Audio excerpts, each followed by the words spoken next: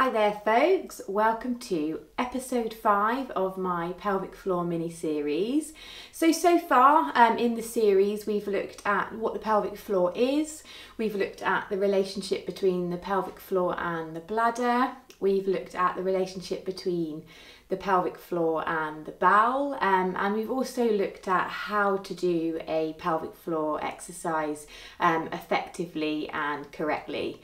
Um, so today we're going to look at the pelvic floor and pregnancy and birth. So I know a lot of the women that I work with who are watching this are working with me because they are pregnant or they've had their children um, or they're seeking guidance from me um, for antenatal support. Um, so yeah, so this will probably be hitting home for a lot of my followers. Um, in the earlier videos, we established that um, pregnancy and birth is not the only reason that we have issues with our pelvic floor, but there certainly is a really strong correlation. Um, so when we are pregnant, we're encouraged to do our pelvic floor exercises, and then after we've had our babies, um, and we are very aware of those issues that we can face having had children. So let's have a look at why that um, is an issue uh, for women when they have children. So um, when we are pregnant, um, hormones change. We have a, a, shift in our hormones, and there's one additional hormone that starts to fly around our system, and that hormone is called relaxin. And relaxin is a hormone that allows our uterus to expand and grow and um, allows our bones and our ligaments and everything to be a lot more supple so it allows movement through the pelvis. So it's not just to facilitate the growth of our baby but also to assist in giving birth as well. So it's the hormone that sort of makes us all loosey goosey when we are pregnant. Um, and that hormone is great uh, but it does um, potentially cause some issues as well. So um, when we're exercising, when we're pregnant, there is um, the potential to overstretch and things like that because suddenly we're more flexible than perhaps we were previously. So it can predispose us to um, injury when we're pregnant and exercising. Um, and also that hormone will stay in the system after we've had our babies for up to five months. So when we're doing exercise postnatally, it's really important to consider that as well. So the relaxin hormone will have an effect on the pelvic floor as well. So we know that it's a complex um, network of muscles um, and ligaments in there, sphincters. So when we've got this relaxin hormone, it just makes that area of muscle potentially more lax. Um, and when we're pregnant as well, obviously there's a lot of weight um, that we're carrying around. So this additional weight is putting pressure through the pelvic floor. And then, obviously, as our pregnancy progresses, we get closer to giving birth. Um, and we know that birth will involve the baby coming down and through the pelvic floor, um, which of course is going to be causing some stretching, um, some potential damage to those muscles and nerves as well. Um, and baby has to then uh, come through, often with some pushing and things like that, which is all putting pressure down through the pelvic floor. So they're the reasons that we will see um, problems there. Um, but I think in the Western world, when we have our babies, um, there's sort of additional risk factors um, and things that can cause us to have more problems with our pelvic floor. Um, birth in, in the UK um, and in a lot of other Western countries is very much a medical event. Um, it's not a natural event that sometimes needs uh, medical assistance. It's very much uh, a medical event that sometimes will um, sort of happen naturally, which is such a shame. I, I want it to be a natural event that sometimes needs uh, medical assistance. So we have a lot of medical intervention with birth. Um, be it cesarean, be it forceps delivery, ventouse delivery, um, episiotomy, so uh, a cut, an incision in that perineal area. Uh, we find that um, a lot of women will end up birthing on their back, which is uh, something that's not really optimum, um, which can then again put a lot of pressure as we're trying to bear down and push our baby out. Um, we have quite a lot of sort of coached pushing, um, this purple pushing, women not necessarily tuning in with. Um, what their body is telling them to do.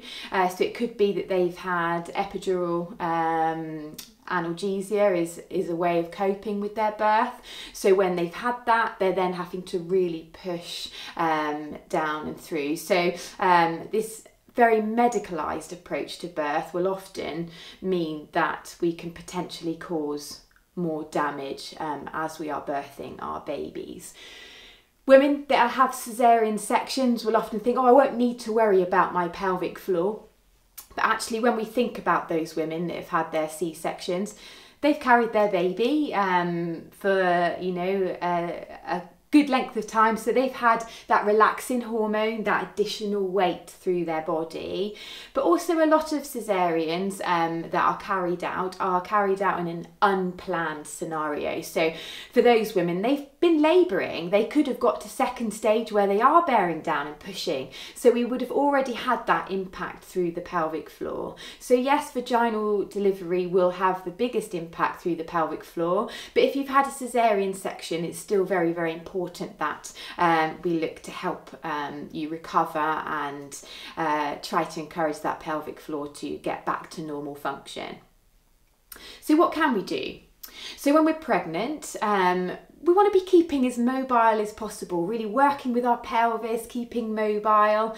So it might be that you want to attend some pregnancy yoga, you might want to attend a pregnancy fitness class, make sure we're getting some squatting and all of those really good compound functional exercises. Um, you might want to work with a personal trainer when you're pregnant as well. Um, but we certainly want to be connecting in with the pelvic floor. So you can do lots of functional activities which will activate the pelvic floor without this sort of conscious squeezing. So there's lots you can do. Um, but we do want to be working the pelvic floor through pregnancy. So there's myths out there that will say that you don't want to be doing pelvic floor exercise during pregnancy because it'll become too strong and that'll hinder birth. But my goodness, you'd have to be doing a lot of pelvic floor exercises to have that much of an impact through the pelvic floor. So my advice to the women that I work with um, in pregnancy is yes, do the um, the lifts um, and the releases that I talk about in episode four. So engage, learn to connect with this part of your body. So as your pregnancy progresses, you might find that it's easier to do your pelvic floor exercises lying down to take a little bit of that pressure off, and that's absolutely fine. But I think through pregnancy, it's definitely developing this connection, this understanding of the sensations of this area of your body. And I really feel strongly that that will help you during labour if you know how to engage these muscles but also how to release them knowing what the sensation of having a really relaxed pelvic floor feels like is only going to be supportive as you are um, labouring and birthing your baby.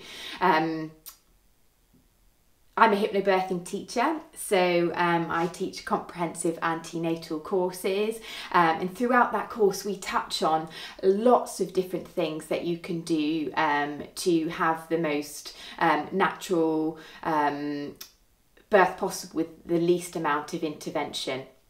And throughout that course, we would talk about breath work um, and breathing exercises are awesome for the pelvic floor. So we can breathe in and lift and engage and then exhale and, and release. All of these little breathing techniques you can learn from a good hypnobirthing uh, teacher and sometimes some really good yoga teachers as well, particularly if they're interested in birth. So breath is amazing. Um, but also we will talk about optimal birthing positions. So if we can get into a great birthing position, um, we're going to sort of let gravity assist. So we're not going to have to be pushing until we're purple in the face to birth our babies and it's all supportive. Um, so optimal birthing positions we talk about ways to try to prevent tearing as well. So the perineum is attached to the pelvic floor. So if we have extensive tearing or cutting to that area of the body these highly medicalized births will, will often result in problems with the pelvic floor. So if we can look at optimal birthing positions, try to prevent tearing, um, so looking at different ways of doing that, um, and also learning to um, tune in with your body, to trust it, to know how to support the central nervous system so you can get oxytocin flowing, so that hopefully you can steer away from intervention. Um, and yes, hypnobirthing doesn't promise you a pain free or um, a birth without intervention, but it's certainly going to um, support you in going down the right path for a more natural um, delivery. So I feel that when you're pregnant, preparing for your birth, um, getting some good um, education will help you manage your pelvic floor symptoms. And then, having had your baby, we want to start working with that pelvic floor um, quite soon after you've given birth. So, I'm talking in the days um, after giving birth. We want to start to switch them on. We know about the problems with the bowel and the bladder. You might have hemorrhoids there. So, we want to start activating this muscle as soon as possible. And I know for me, when I first tried to activate my pelvic floor, having given birth, I felt like I could feel nothing at all. Um, so I just worked on doing the lifts while I was laying down and then gradually um, started to work to a seated position, standing, and gradually work from there. And again, um, women's health physios, um, good uh, postnatal personal trainers can support you with that, and your midwives as well um, will give you guidance on when and how often um, you need to be working uh, your pelvic floor. So, yeah, so there is a really strong connection with pregnancy, birth, and issues with the pelvic floor. And then as we go into later life, we have hormonal changes again with the menopause and, and things like that. So, um, although it's not the only risk factor for pelvic floors, not the only predisposing factor, yes, uh, pregnancy and birth will definitely have a big impact on your pelvic floor. So, don't let it be the bottom of the list for you. Um, when we're pregnant, it things run away. We've got to think about a buggy, a car seat, uh, the nursery, um, packing your hospital bag, and we've got this big list of things that we need to do. Often while we're still working full time, and the pelvic floor is there in the mind, but will often get put to the bottom of the list. Um, so I'm strongly encouraging you now um, to think about your pelvic floor and definitely look um, at getting some birth preparation